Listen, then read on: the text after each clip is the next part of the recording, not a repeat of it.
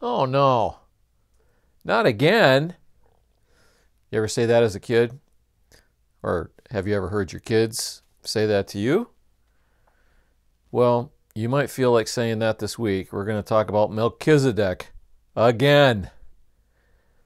That obscure character from Genesis chapter 14 comes up again in Hebrews chapter 7. You might think, why does this guy keep coming up and why do we keep talking about him? I mean, there's wars in the world and struggles in our homeland and gas prices are over $5. Should we be talking about Melchizedek? Well, the answer is yes.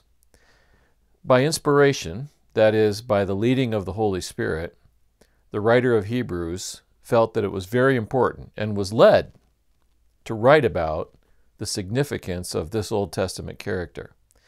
And believe it or not, it has very much to do with the things that we face each day. Do you need an expert on how to live? Do you need to know that your sins are really gone? Do you need somebody who can help renovate the inside of you? If you say yes to any of those things, then you need Jesus Christ.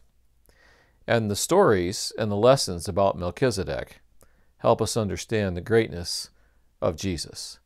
Remember, the theme of the letter is Jesus is better. And this author of Hebrews is going to keep driving it home. And so this week, we're going to talk about Melchizedek again.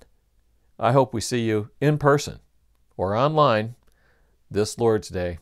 God bless.